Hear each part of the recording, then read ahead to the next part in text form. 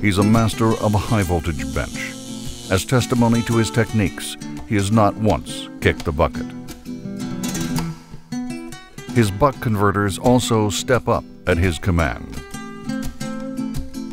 While mentoring his cats in Euclidean geometry, he conceived the long-tailed pair. His paper designs are declared clean silicon.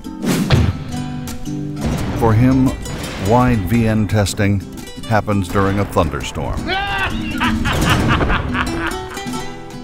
he is the most interesting engineer in the world.